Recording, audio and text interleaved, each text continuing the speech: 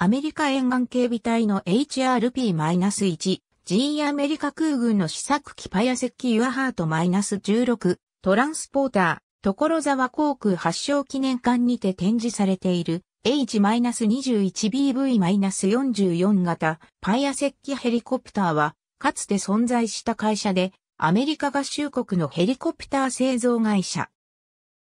現在は、ボーイング防衛、宇宙、セキュリティ、BDS のボーイングミリタリーエアクラフト、ブーマビジネスユニットの一部となっている。フィラデルフィアを拠点としていて、現在もペンシルベニア州のリドリータウンシップに工場を構える。H-21 は日本にも輸入された。1940年にフランク・パイア石器によって設立された。創業者のフランク・パイア石器が1956年に新たにパイア石器エアクラフトを設立したので、パイア石器ヘリコプターは1956年にバートルに社名を変更して1960年のボーイングによるバートルの買収によってバートルはボーイングのヘリコプター部門である、ボーイングバートルとなった。しかしバートルは、後に完全にボーイングに吸収され、1987年に、ボーイングヘリコプターズに改称され、さらに2002年に、